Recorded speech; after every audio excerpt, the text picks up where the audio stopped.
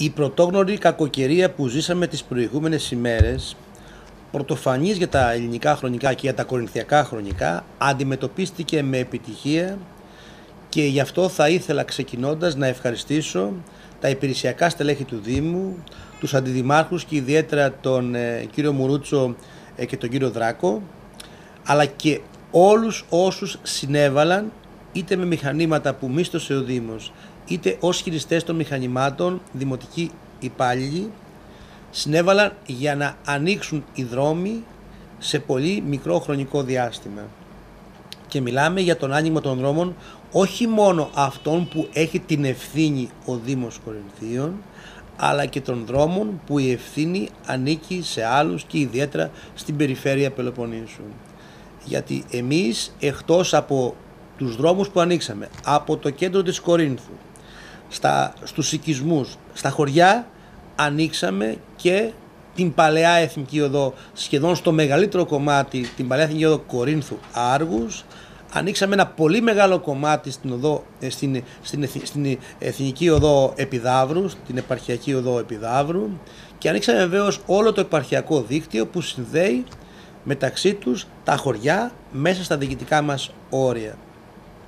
Άρα λοιπόν έγινε μια υπεράνθρωπη προσπάθεια για τη διάνοιξη των δρόμων, για να πέσουν αλάτια εκεί που τα καταφέραμε γιατί υπήρχαν αρκετά προβλήματα. Υπήρχε πρόβλημα με την έλλειψη του αλατιού που δεν καταφέραμε να προμηθευτούμε στις ποσότητες που εμείς θα επιθυμούσαμε και βεβαίως από την άλλη ε, θα πω ότι όλη αυτή η προσπάθεια έγινε για το ζητούμενο για μας ήταν οι κάτοικοι σε κανένα σημείο του Δήμου να μην μείνουν αποκλεισμένοι.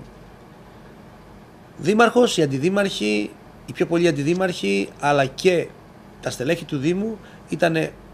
όλη την ημέρα χθες στους δρόμους μαζί με τους υπαλλήλους του Δήμου και κάναμε το αυτονόητο να μείνει ο Δήμος ανοιχτός. Θα κάνω ένα σχόλιο έστω για τελευταία φορά για κάποιους οι οποίοι την Κυριακή και τη Δευτέρα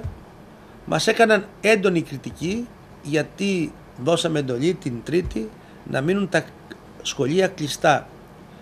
Και βεβαίως εξεπλάγει όταν είδα αναλυτική ανακοίνωση από κάποιους και δηλώσεις στο διαδίκτυο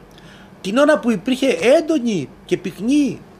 ε, χιονόπτωση ακόμα και στο κέντρο της πόλης Κορίνθου ομιλούσαν ε, για διάφορα, κάτι φανταστικά σενάρια, για παράδεκτες πολιτικές ότι κλείνουμε τα σχολεία, ότι δεν είμαστε υπεύθυνοι και πολλά άλλα επίθετα κοσμητικά, τα οποία πιστεύω ότι τους επιστράφησαν πίσω, γιατί όλα αυτά ε, που έγιναν ε, απο, απέδειξαν για άλλη μία φορά το πόσο υπεύθυνη είναι αυτή η Δημοτική Αρχή και το πόσο ανεύθυνοι είναι κάποιοι που μάλιστα κάποιοι από αυτούς φιλοδοξούσαν να διοικήσουν και το Δήμο Κορινθίων. Κάποιοι δεν σκέφτονται τα ατυχήματα που μπορούν να γίνουν, δεν σκέφτονται τα ατυχήματα όχι μόνο στους δρόμους αλλά και μέσα στους σχολικούς χώρους. Και λένε παραδείγματα ακόμα και για ιδιωτικά σχολεία που λειτουργήσαν ε, που εγώ σε μία περίπτωση ξέρω ότι τραυματίστηκε και εκπαιδευτικός γυμναστής κατά τη διάρκεια της δουλειάς του στον προάβλιο χώρο του σχολείου. Για σκεφτείτε λοιπόν πώς θα μπορούσαμε να διαχειριστούμε. Οι ίδιοι άνθρωποι θα μας καρφώνανε ε, ε, στον τοίχο πάλι αν είχαμε πει να ανοίξουν τα σχολεία και αν είχε γίνει το πιο μικρό ατύχημα. Ένα ατύχημα που δεν θα είχαμε ε, σοβαρά προβλήματα, θα μας είχαν επιτεθεί με τον ίδιο τρόπο, με την ίδια αγριότητα που συχνά μας επιτίθεται.